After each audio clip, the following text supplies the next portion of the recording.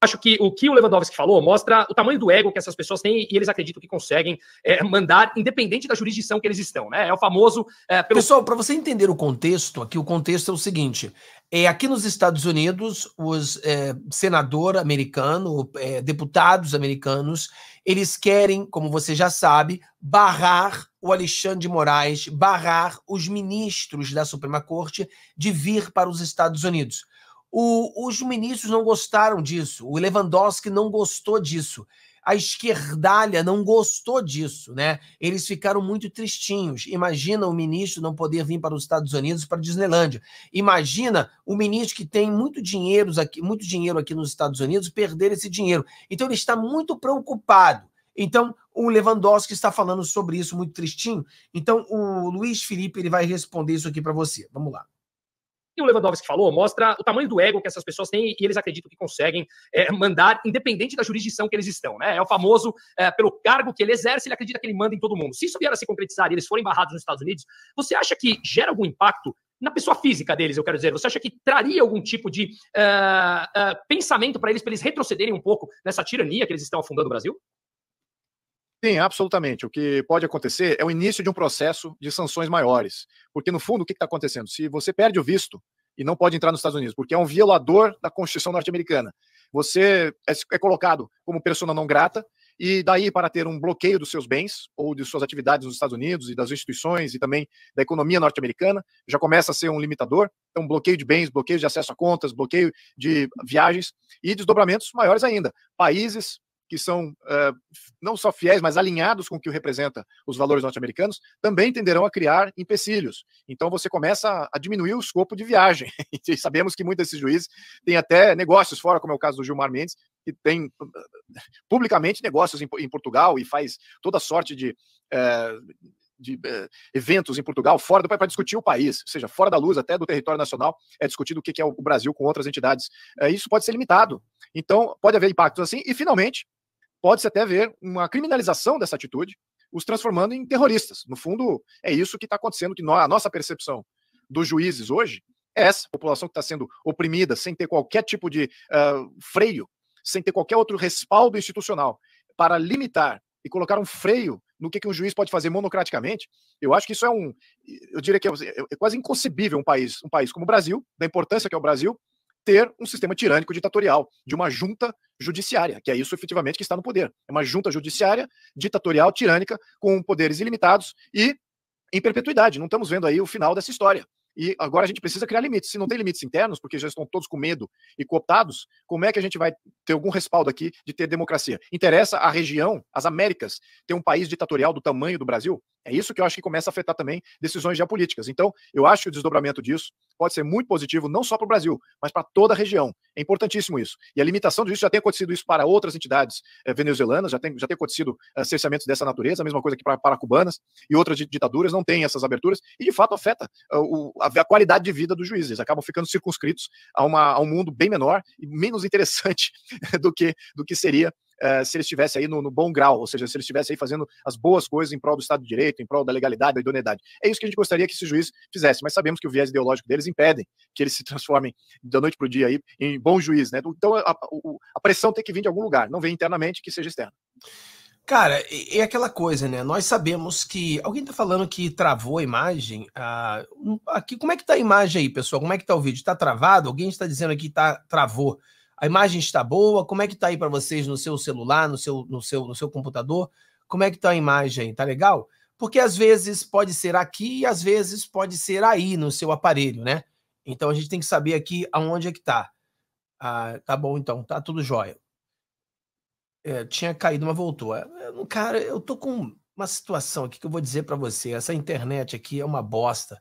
E eu não sei mais o que fazer com essa internet, né? Tô esperando já há quatro anos para a internet nova chegar o negócio não chega. A, a internet aqui está parecendo a picanha do Lula, né? Que o pessoal está esperando aí, o pessoal petista que votou para o Lula está esperando essa picanha que nunca chega. Aí eu estou aqui é, é, esperando a, a internet também nova que nunca chega, né? É uma coisa assim né? impressionante. Então voltou, que bom que voltou. Então voltou, então tá bom. Então isso aí. Então você vê aqui, por exemplo, a, o que o deputado fala pra gente aqui, uma coisa inacreditável, né? Então a gente sabe que ele pode ser bloqueado aqui nos Estados Unidos e esse bloqueio e aquela coisa, pessoal, vamos ver o cenário de vira-volta perfeito. Qual o cenário perfeito de uma virada de jogo? É o presidente Donald Trump ganhar as eleições. O presidente Donald Trump ganhando as eleições dos Estados Unidos é o cenário perfeito. Por quê? Porque nós sabemos que o, o, o Elon Musk está junto com o Trump. E o Elon Musk, ele vai ser um dos braços direitos do presidente Donald Trump, eles estarão junto para essa vitória. Então, esse seria o cenário perfeito, né? Agora, Fábio, se o Trump não ganhar as eleições, então acabou o nosso sonho? Não, não acabou o nosso sonho nós ainda vamos continuar lutando. Não é o cenário perfeito, dificulta um pouco mais, mas a gente ainda consegue virar esse jogo, entendeu? A, a situação, é, a gente tem um plano A, o um plano B, e as coisas vão mudando conforme os acontecimentos, né? A gente tem que analisar. As análises, elas têm que ser diárias, né? Você análise, análise hoje é feita com os fatos atuais. Amanhã, se você tem outros fatos, a análise muda. Né? Então é isso que as pessoas têm que entender como funciona uma análise. Então, o presidente Donald Trump ganhando, a gente tem uma direção. É, se o presidente Donald Trump perder, nós temos uma outra direção. Mas, de qualquer jeito, eu acredito numa vitória do povo brasileiro, eu acredito numa grande vitória nossa. Mas uh, o, o cenário perfeito seria o Trump. Então você vê que, por exemplo, se eles forem é, sancionados, o que vai acontecer é que essa onda vai aumentar cada vez mais, e aí eles serão, aqueles que estão com eles serão, aqueles que estão colocando dinheiro, aqueles que estão apoiando, todo mundo vai cair, todo mundo um por um. É isso que está acontecendo. Agora, imagina você, cara, é, é, eles sendo sancionados, né? Então você vê que no, isso acontecendo é, no Brasil e nos Estados Unidos. Imagina o problema. A pessoa fala, mas Fábio, eles têm que barrar o Lula também. Pessoal, o Lula não pode ser barrado dessa forma, porque o Lula é o presidente do Brasil. Então ele não vai poder ser barrado dessa forma. Então não é tão fácil assim você barrar o Lula, né? Mas, mas barrando os juízes, o Lula entra na loucura dele, ele pode ser o próximo a ser barrado também porque você sabe que o Lula veio aqui nos Estados Unidos, passou maior vergonha essa semana, e nós vamos falar um pouco sobre isso, né? Da vergonha do Lula também. Mas nós temos mais algumas coisas aqui para a gente botar aqui, para a gente entender. Se você tiver alguma pergunta sobre isso, manda aí, porque a gente pode falar com você sobre isso também. Então aqui a gente vê o passo, a situação do, do, do, do Elon Musk, né? Fala, seu José, um abraço. Fábio, ficarei feliz se os Estados Unidos proibirem o enteado dos togados. Vou pular de alegria. Olha, cara, eu também. Tem coisas que podem acontecer aqui e a gente vai ficar muito feliz, né? Por exemplo, o primeiro passo é os togados serem barrados nos Estados Unidos. Isso seria um pulo de alegria para todos nós. Outra coisa é interessante. Conseguimos os 41 senadores para que os 41 senadores comecem o processo de impeachment do Alexandre de Moraes.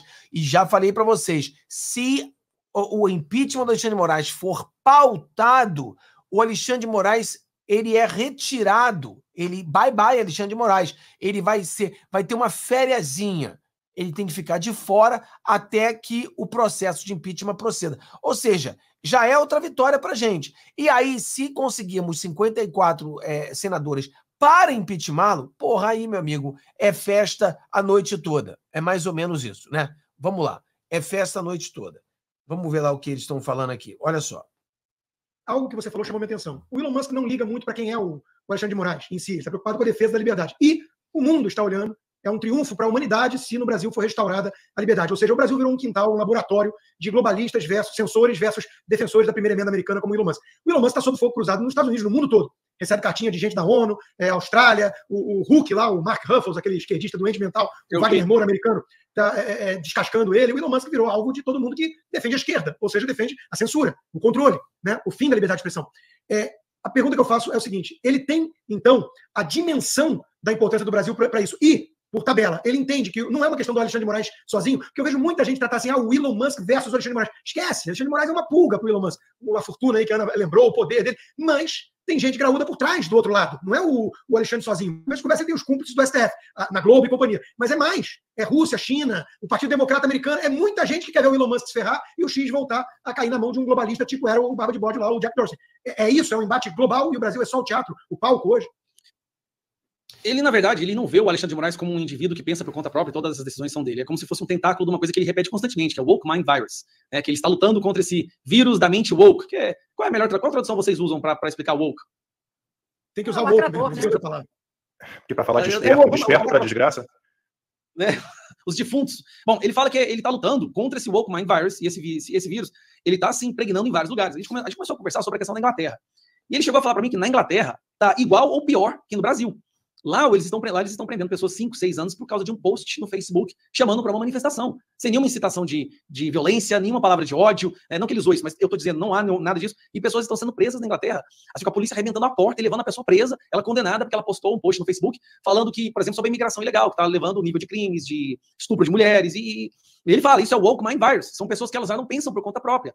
Elas simplesmente se deixam ser controladas por esse parasita. Esse parasita toma conta das suas ações, das suas decisões, dos seus sentimentos. Então, ele vê o Alexandre de Moraes mais ou menos como esse tentar, essa, essa projeção, esse avatar, melhor palavra, né? Desse woke mind virus. Aí eu bem que discordo dele em alguns momentos nesse aspecto, porque eu acho que o Alexandre de Moraes tem uma agenda assim, tem outro grupo trabalhando por trás dele, que eu acho que não é tanto o pessoal da woke mind virus, mas essa é a força que faz o Elon Musk querer continuar lutando. Gente, vou ser sincero. Se fosse o Elon Musk, ah, ele só quer saber de dinheiro, só quer saber de dinheiro. Se fosse dinheiro, a preocupação dele já teria saído do Brasil há muito tempo.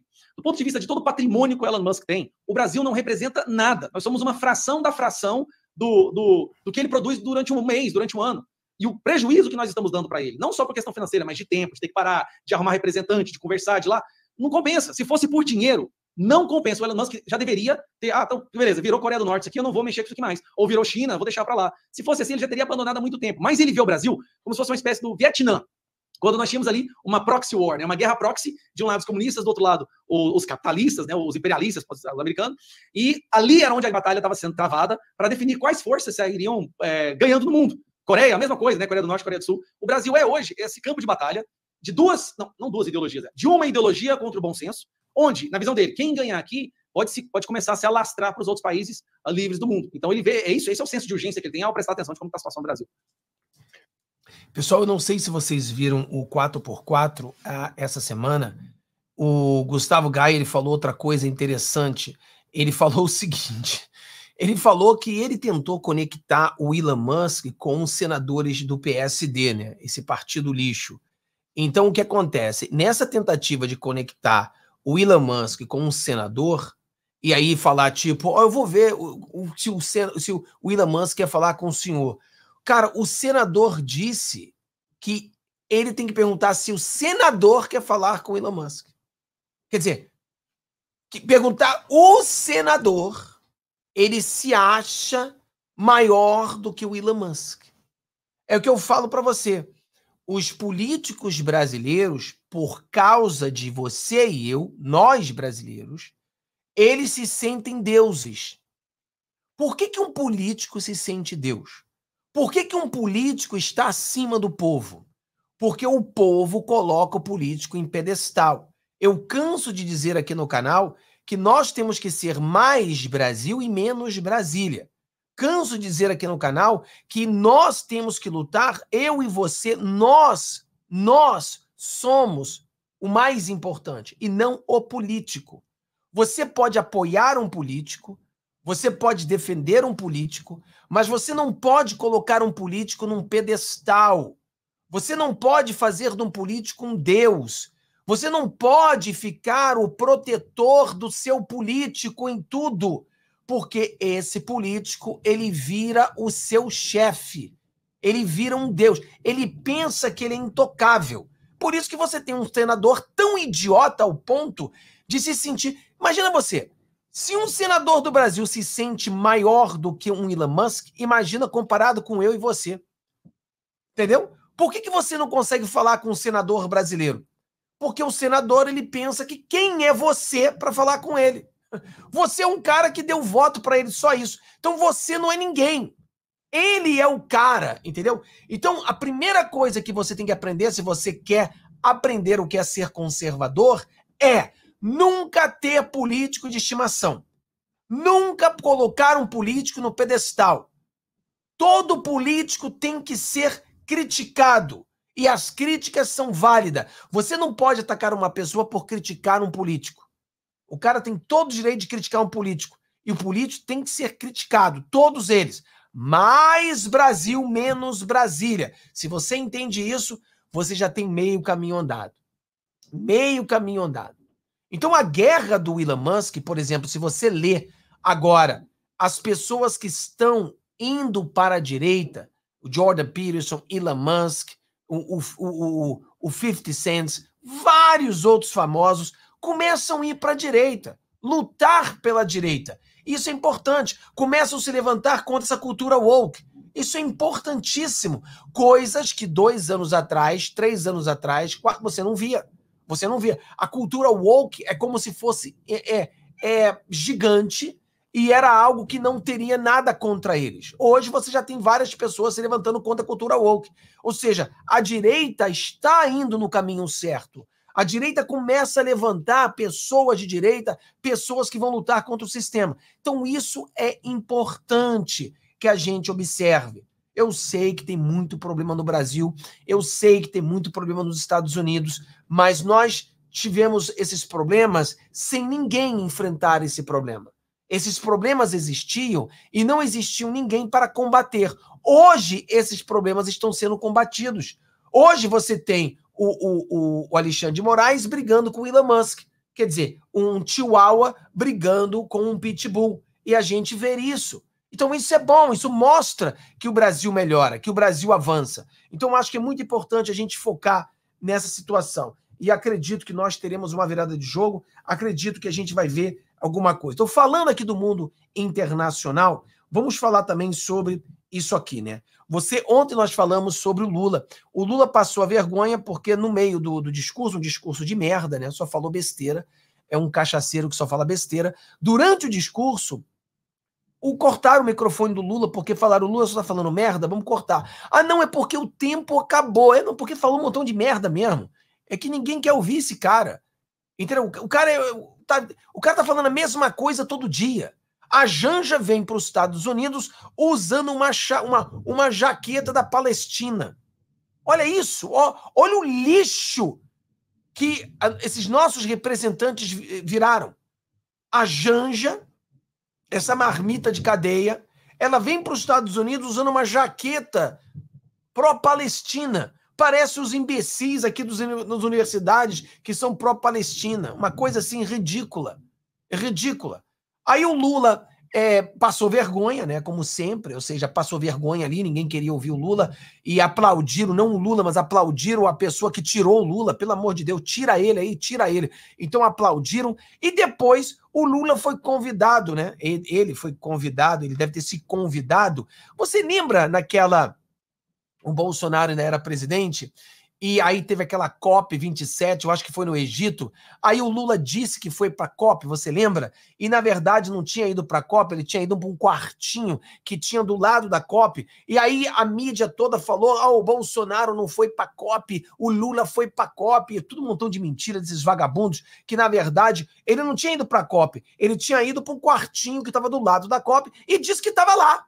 Entendeu? Não, tava lá, eu tava lá, eu tava lá na Copa. Não, não tava, mentiroso. Você tava do lado. É tipo o Brasil tá jogando no Maracanã, você fala, fui pro Maracanã, você tava, tava num, botequim do lado do Maracanã. Porra, você não tá no Maracanã. Você tá no botequim do lado do Maracanã. Mas o cara disse que estava no Maracanã. O Lula disse que estava na COP. Tava na COP. Não, você não tava na COP. Você tava no quartinho do lado. No quartinho do lado, das pessoas que não foram convidadas. É ali que você estava. Então é tudo mentira. O, a, o Lula vive no mundo da mentira e a mídia compactua com a mentira dele.